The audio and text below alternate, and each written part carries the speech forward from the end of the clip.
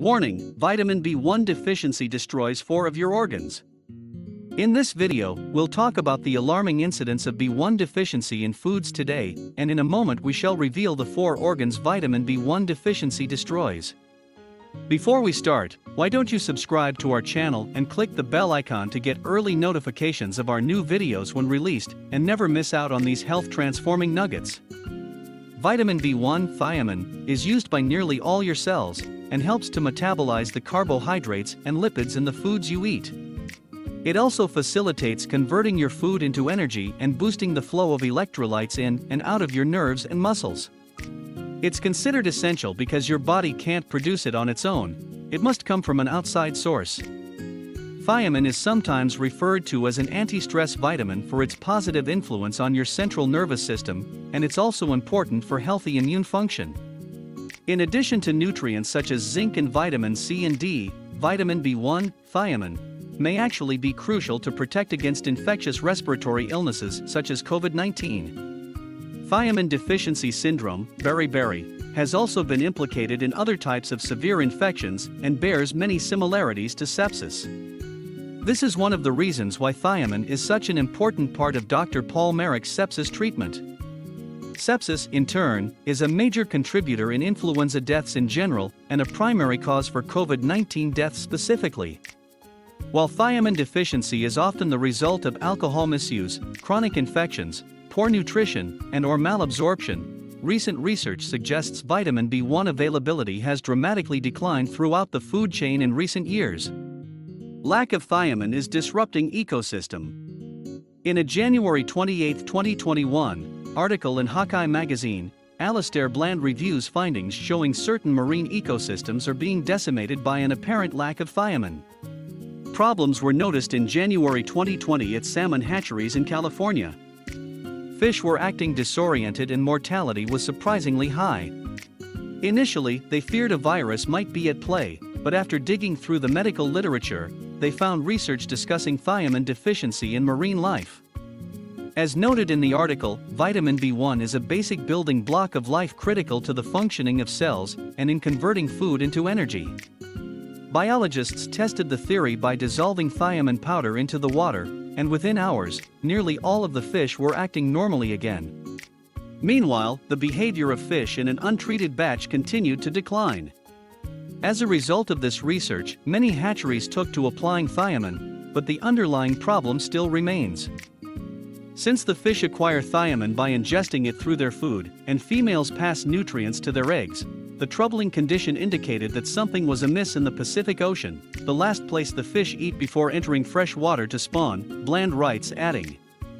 California researchers now investigating the source of the salmon's nutritional problems find themselves contributing to an international effort to understand thiamine deficiency, a disorder that seems to be on the rise in marine ecosystems across much of the planet. It's causing illness and death in birds, fish, invertebrates, and possibly mammals, leading scientists from Seattle to Scandinavia to suspect some unexplained process is compromising the foundation of the Earth's food web by depleting ecosystems of this critical nutrient. What's causing ecosystem-wide thiamine deficiency? As explained by Bland, thiamine originates in the lowest levels of the food web. Certain species of bacteria, phytoplankton, fungi, and even some plants are responsible for synthesizing thiamine from other precursor compounds. From there, thiamine makes its way through both the animal and plant kingdoms. All organisms need it. In animals, enzymes interact with thiamine to generate cellular energy. Without sufficient amounts of thiamine, fundamental metabolic processes start to fail, causing neurological disturbances, reproductive problems, and increased mortality.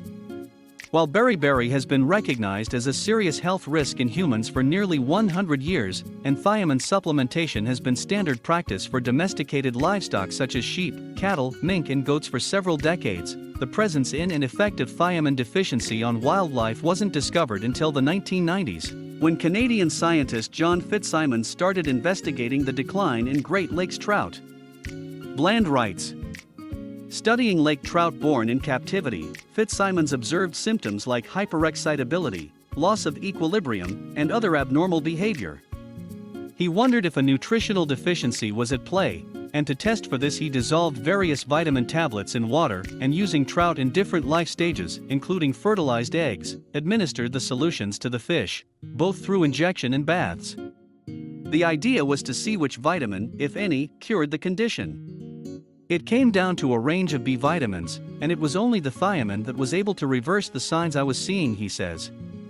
Since the publication of Fitzsimon's findings in 1995, thiamine deficiency has been identified in dozens of animal species, including birds and moose. While severe deficiency has lethal consequences, sublethal deficiency can have insidiously devastating effects, including 1. Lowering strength and coordination. 2. Reducing fertility. 3. Impairing memory and causing other neurobehavioral deficits. In humans, thiamine deficiency has been shown to play a role in cases of delirium. In one study, 45% of cancer patients suffering from delirium had thiamine deficiency, and 60% recovered when treated with intravenous thiamine. 4. Paralysis. 5. Loss of vocalization. B1 deficiency may be responsible for wildlife declines. Thiamine deficiency is now suspected of driving declines in wildlife populations all across the northern hemisphere. Bland cites research showing marine and terrestrial wildlife populations declined by half between 1970 and 2012. Between 1950 and 2010, the global seabird population declined by 70%.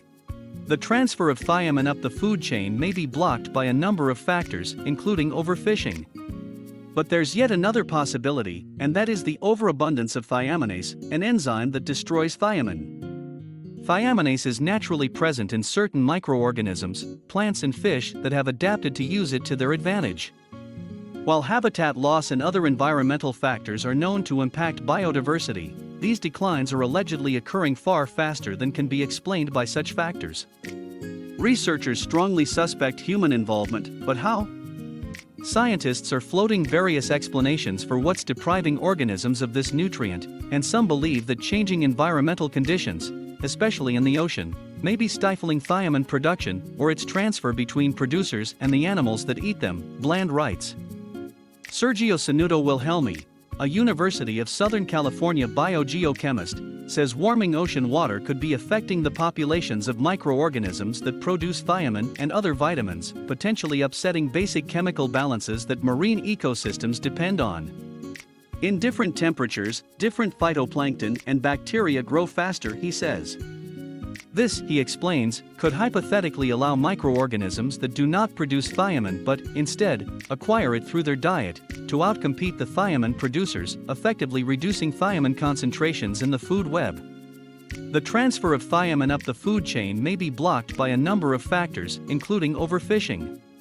But there's yet another possibility, and that is the overabundance of thiaminase, an enzyme that destroys thiamine. Thiaminase is naturally present in certain microorganisms, plants and fish that have adapted to use it to their advantage. When larger animals eat prey containing thiaminase, the enzyme rapidly destroys thiamine and can lead to a nutritional deficiency in the predator, Bland explains. One thiaminase-rich species is an invasive species of herring called alewife, which during the 20th century have spread through the Great Lakes, displacing native species.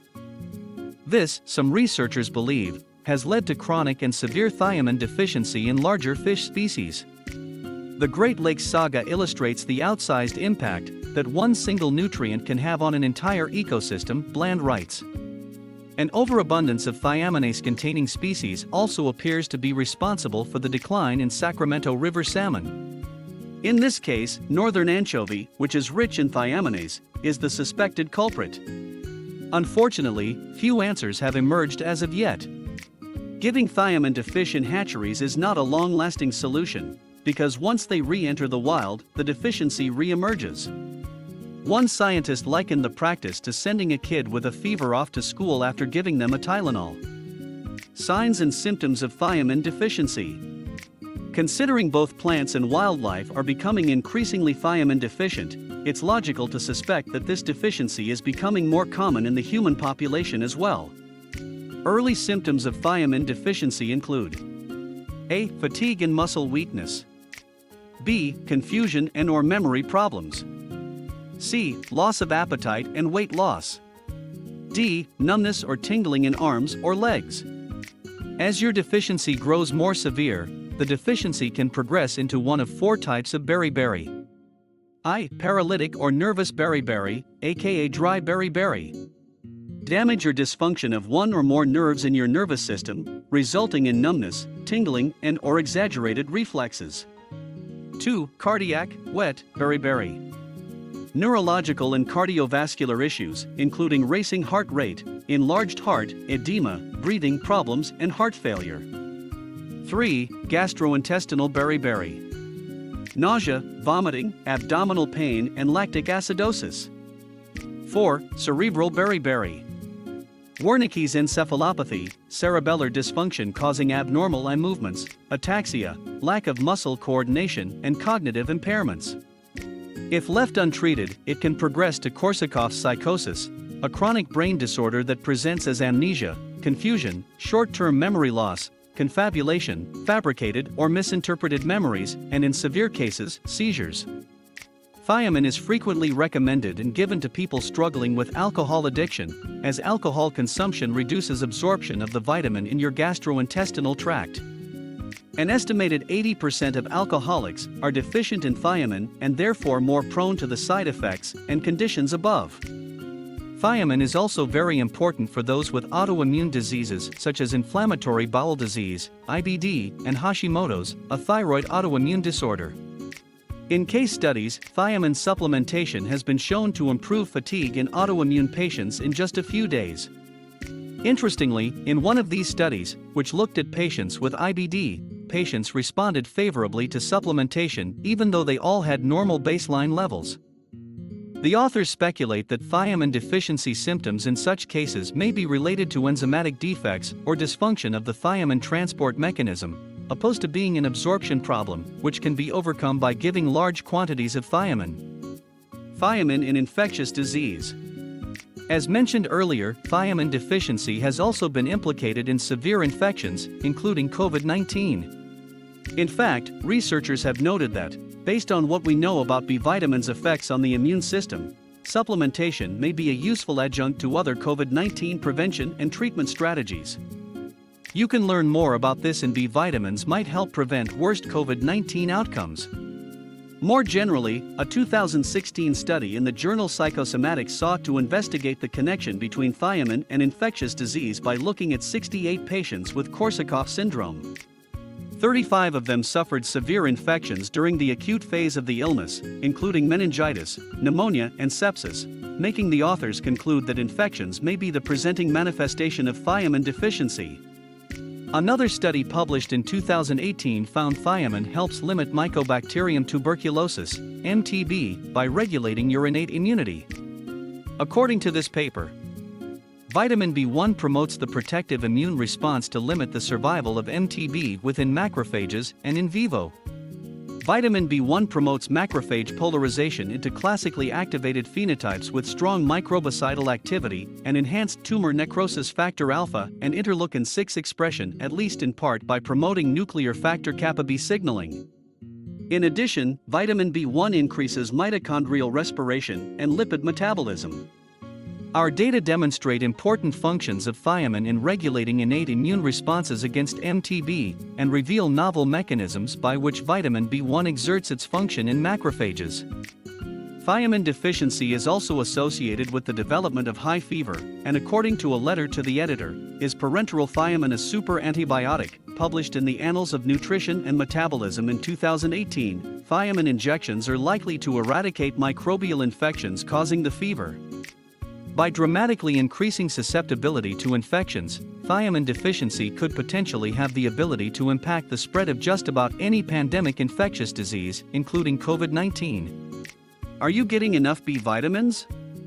While biologists struggle to find an ecosystem wide solution for thiamine deficiency in the food chain, the solution for us, in the meantime, may be to make sure we get enough thiamine through supplementation. Evidence suggests thiamine insufficiency or deficiency can develop in as little as two weeks, as its half life in your body is only 9 to 18 days. Ideally, you can select a high-quality food-based supplement containing a broad spectrum of B vitamins to avoid creating an imbalance. The following guidelines will also help protect or improve your thiamine status. Limit your sugar and refined grain intake. As noted by the World Health Organization, thiamine deficiency occurs where the diet consists mainly of milled white cereals, including polished rice, and wheat flour, all very poor sources of thiamine. Simple carbs also have anti-thiaminergic properties and raise your thiamine requirement for the simple fact that thiamine is used up in the metabolism of glucose. Eat fermented foods. The entire B group vitamin series is produced within your gut provided you have a healthy gut microbiome. Eating real food, ideally organic, along with fermented foods will provide your microbiome with important fiber and beneficial bacteria to help optimize your internal vitamin B production as well. Avoid excessive alcohol consumption, as alcohol inhibits thiamine absorption, and frequent use of diuretics, as they will cause thiamine loss. Avoid sulfite-rich foods and beverages such as non-organic processed meats, wine and lager, as sulfites have anti-thiamine effects. Correct any suspected magnesium insufficiency or deficiency, as magnesium is required as a cofactor in the conversion of thiamine. If you wish to know what the daily required intake of the different types of B vitamins, click the link below to read the full article.